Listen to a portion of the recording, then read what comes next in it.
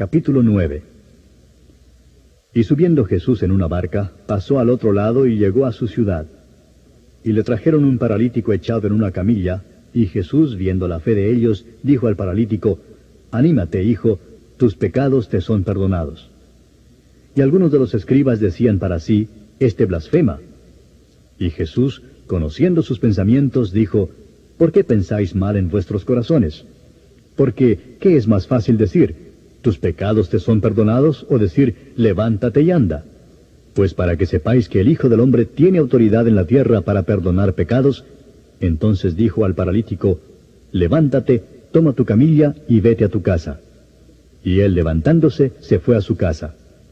Pero cuando las multitudes vieron esto, sintieron temor y glorificaron a Dios, que había dado tal poder a los hombres. Cuando Jesús se fue de allí, vio a un hombre llamado Mateo sentado en la oficina de los tributos y le dijo, Sígueme. Y levantándose le siguió. Y sucedió que estando él sentado a la mesa en la casa, he aquí muchos recaudadores de impuestos y pecadores llegaron y se sentaron a la mesa con Jesús y sus discípulos. Y cuando vieron esto, los fariseos dijeron a sus discípulos, ¿Por qué come vuestro maestro con los recaudadores de impuestos y pecadores? Al oír él esto, dijo, los que están sanos no tienen necesidad de médico, sino los que están enfermos. Mas id y aprended lo que significa misericordia quiero y no sacrificio, porque no he venido a llamar a justos, sino a pecadores. Entonces se le acercaron los discípulos de Juan diciendo, ¿Por qué nosotros y los fariseos ayunamos, pero tus discípulos no ayunan? Y Jesús les dijo, ¿acaso los acompañantes del novio pueden estar de luto mientras el novio está con ellos? Pero vendrán días cuando el novio les será quitado, y entonces ayunarán. Y nadie pone un remiendo de tela nueva en un vestido viejo, porque el remiendo al encogerse tira del vestido y se produce una rotura peor.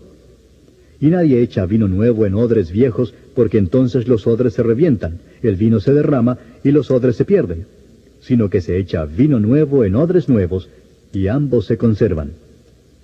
Mientras les decía estas cosas, aquí vino un oficial de la sinagoga y se postró delante de él, diciendo, Mi hija acaba de morir, pero ven y pon tu mano sobre ella y vivirá. Y levantándose Jesús lo siguió, y también sus discípulos. Y he aquí una mujer que había estado sufriendo de flujo de sangre por doce años, se le acercó por detrás y tocó el borde de su manto, pues decía para sí, Si tan solo toco su manto, sanaré. Pero Jesús volviéndose y viéndola dijo, Hija, ten ánimo, tu fe te ha sanado. Y al instante la mujer quedó sana. Cuando entró Jesús en la casa del oficial y vio a los flautistas y al gentío en ruidoso desorden, les dijo, Retiraos porque la niña no ha muerto, sino que está dormida. Y se burlaban de él. Pero cuando habían echado fuera a la gente, él entró y la tomó de la mano y la niña se levantó. Y esta noticia se difundió por toda aquella tierra.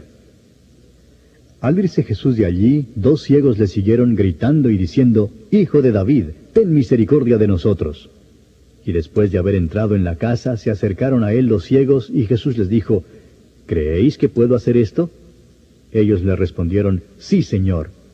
Entonces les tocó los ojos, diciendo, Hágase en vosotros según vuestra fe. Y se les abrieron los ojos, y Jesús les advirtió rigurosamente, diciendo, Mirad que nadie lo sepa. Pero ellos, en cuanto salieron, divulgaron su fama por toda aquella tierra. Y al salir ellos de allí, he aquí le trajeron un mudo endemoniado. Y después que el demonio había sido expulsado, el mudo habló, y las multitudes se maravillaban y decían, jamás se ha visto cosa igual en Israel. Pero los fariseos decían, Él echa fuera los demonios por el príncipe de los demonios. Y Jesús recorría las ciudades y aldeas enseñando en las sinagogas de ellos, proclamando el Evangelio del reino y sanando toda enfermedad y toda dolencia. Y viendo las multitudes, tuvo compasión de ellas, porque estaban angustiadas y abatidas como ovejas que no tienen pastor. Entonces dijo a sus discípulos, La mies es mucha, pero los obreros pocos. Por tanto, rogad al Señor de la mies que envíe obreros a su mies.